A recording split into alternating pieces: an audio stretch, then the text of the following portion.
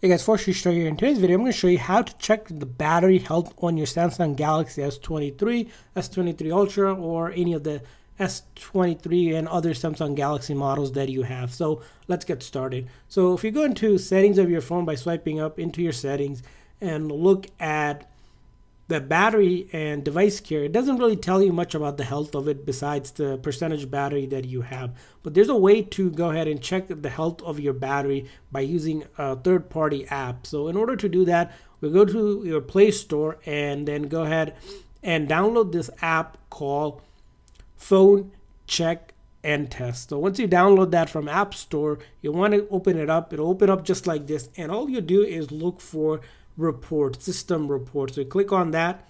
And once you click on that, it'll give a report of your phone here. A lot of information that you don't usually see on the settings of your phone. Here, we're going to go down where it says for battery, as you can see here, it says our battery health is 86, our battery level is 86. That's the percentage. But the one thing we want to check is the battery health, which is good here. You want this to be good to kind of check that the battery is good on it. Now, if this says bad or degraded, now that's bad. So you always want it to be good, so that means the battery is good. It doesn't give us the actual health percentage, but it gives us that to kind of see how good the battery is if you're buying a used phone or just want to check how well your battery is doing. So that's one way to check it. Hopefully this quick little video is helpful. So please make sure to like and subscribe button. Thanks for watching guys. See you guys next time.